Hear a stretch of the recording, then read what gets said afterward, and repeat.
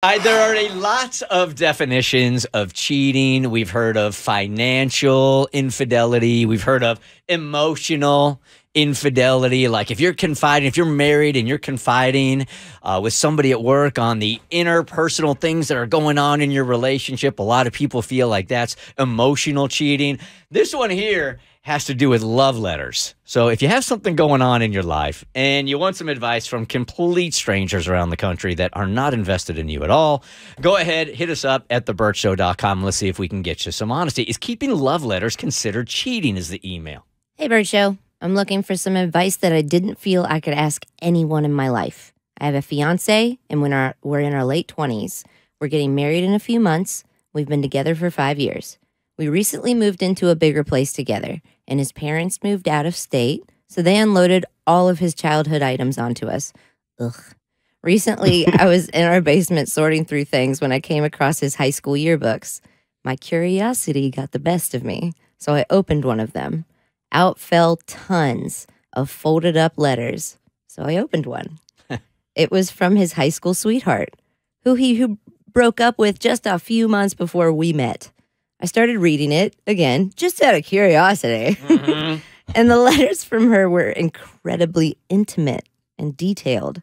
She wrote all about how amazing he was, how she knew that he was her future husband, best friend, soulmate, even how amazing the piano playing was, there were pages and pages of letters from her just like this. Must have been some good piano playing mm-hmm. for you to write a whole sonata. Right? At first, it made me laugh because it's just so not my style to spill my guts in a mushy love note, not even with my fiance. But now I can't stop thinking about it. Our relationship wasn't perfect at the start. We had lots of issues, especially with infidelity. At times, with him talking to her, this same ex, when we were on a break. We're at a good place now but it still makes me think should I be upset that these are in our home?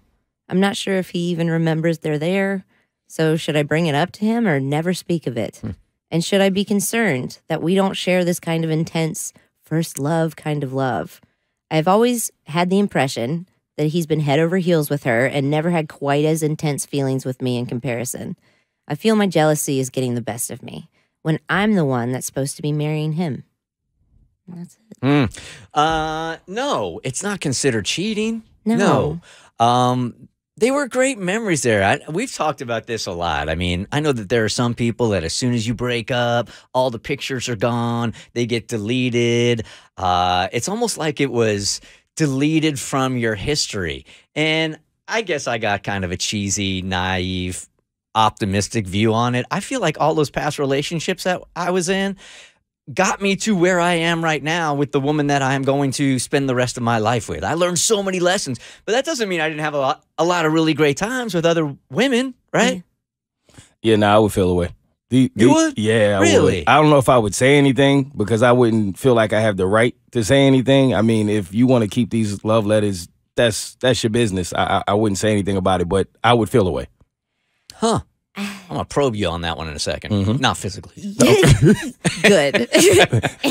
I am not prepared for that. Um, I I think if it yearbooks should be off limits. You know that is so old. But she does say that he was still dating that high school sweetheart until you know like anything in a yearbook that's fallen out of a yearbook it hasn't been touched in a while mm-hmm. his family brought over all kinds of stuff that he doesn't even know is down there so i would say since it's bothering you bring it up be like i found all these intimate letters and he might throw them out or burn them right in front of you. It's not like pictures of him and his ex in intimate situations. It's mm. not photos. Like I think of it as like a uh, old MySpace DM. Like really, like really, what? Like it's an old letter. It's an old love letter, and a lot of people keep those. They're cute. Yeah. It was high school times. You're gonna marry this guy. You should be so over this, but since you're not, it's gonna bite at you and then you're going to start going through all of his other crap that he doesn't even know is down there.